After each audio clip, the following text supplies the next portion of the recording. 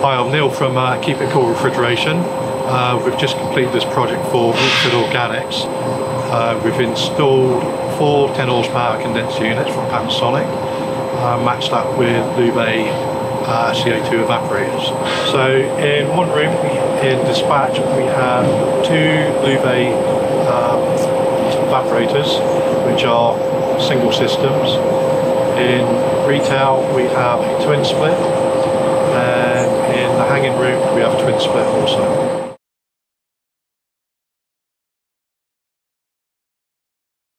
Riverford were trying to achieve with, with a greener solution. Um, basically, they, their options were either going down the route of the CO2 systems or a hydrocarbon system. The rim volume that we've got, the hydrocarbon system, is, is not, not realistic with the amount of duty that's required in here. So th their main option was going down the CO2 route. With the, with the LU-VE EC coolers and the Panasonic system, their running costs will be dramatically reduced compared to traditional HFC systems. So the system we have here, he work on both subcritical and transcritical. So just to give you an idea, um, once the ambient temperature drop under 32 degrees, so the system will work as a subcritical system, which make the system super efficient and then gives a lot of saving to the user. For this project, we had a choice either going for 60 bar coolers or 85 bar coolers.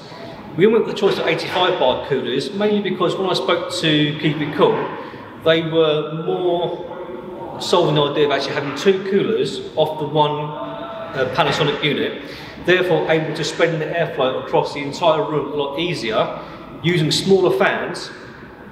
By doing it on one cooler, we'd have to use a larger, a larger cooler, maybe more fans, but the fans actually be a lot larger, thus making it a lot more energy inefficient rather than having these ones here.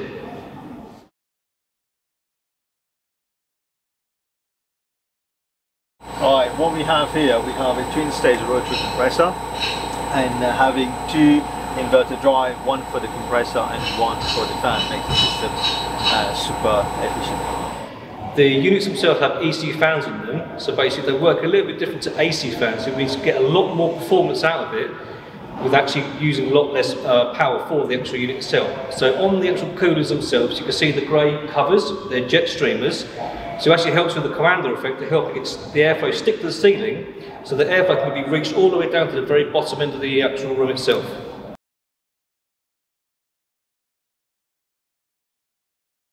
With the, the, the running system of this setup, you've got 12 electronic expansion valves, which will give you a closer tolerance with the refrigeration process.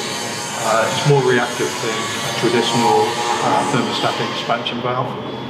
Powered up with Panasonic, the inverters on that, you're, you're drastically saving so much energy with the compressor ramping up and down the speed, which is cutting the electric cost. When it comes to installing it, the Panasonic units that we have here are 10 horsepower. They actually have a suction filter which must be installed. Acts as a strainer and a muffler as well, so actually, it allows the system on the suction side to perform a lot better. So if you want to have floating suction, you can.